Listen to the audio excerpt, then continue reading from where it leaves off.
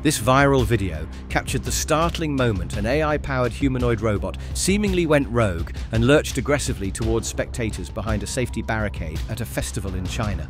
Security personnel quickly intervened, restraining the machine before the situation could escalate.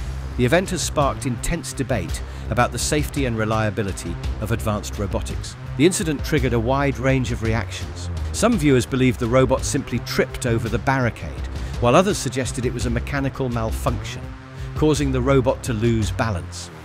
Many saw it as evidence of AI becoming potentially violent or rebellious.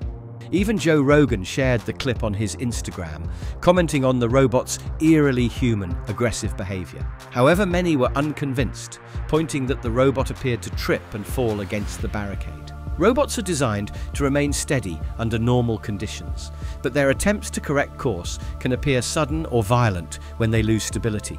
Because humanoid robots often weigh hundreds of pounds and contain multiple moving joints, any erratic motion may seem threatening to human bystanders.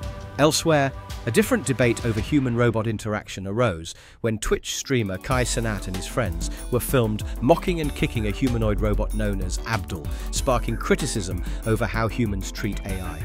Some social media users jokingly suggested that the robot's villain arc had begun, referencing pop culture portrayals like Will Smith's movie I, Robot, in which AI robots ultimately rebel against their creators. Incidents with AI misbehaving are not isolated. Researchers have demonstrated potential vulnerabilities in AI systems where simulated robots were tricked into dangerous tasks and shown how multimodal AI models could potentially be jailbroken, leading to harmful behaviors.